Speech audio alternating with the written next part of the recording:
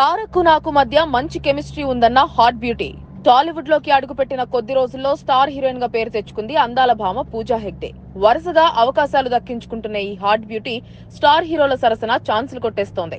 Young tiger junior NTR Allu Arjun పక్కన నటించిన ఈ ముద్దుగుమ్మ ప్రస్తుతం ప్రభాస్తో కలిసి నటిస్తోంది. అటు బాలీవుడ్లోకి ఎంట్రీ ఇచ్చి అక్కడ కూడా అవకాశాలు దక్కించుకుంటోంది. గతంలో ఎన్టీఆర్ త్రివిక్రమ్ కాంబోలో వచ్చిన అరవింద సమేత వీరరాఘవ సినిమాలో ఈ అమ్మడు నటించిన విషయం తెలిసిందే. ఈ సినిమా విజయం సాధించగా ఆ సినిమాతో పూజా హెగ్డేకు మంచి పేరే వచ్చింది. తాజాగా ఆ సినిమా విశేషాలను పూజ పంచుకుంది. ఎన్టీఆర్తో కలిసి పనిచేయడం చాలా బాగుందని చెప్పింది. ఎన్టీఆర్ తన మధ్య సినిమాలో కెమిస్ట్రీ చాలా బాగా పండిందని తెలిపింది. ఎన్టీఆర్తో కలిసి పనిచేయడం చాలా అద్భుతంగా ఉందని తనకు అవకాశం ఇచ్చిన త్రివిక్రమ్కు ఎప్పుడూ రుణపడి ఉంటానని పూజ తెలిపింది. ఈ సినిమా ద్వారా తనలోని కొత్త కోణం బయటపడిందని చెప్పింది. కాగా ప్రస్తుతం ప్రభాస్ హీరోగా తెరకెక్కుతున్న రాధేశ్యామ్ సినిమాలో పూజ నటిస్తోంది.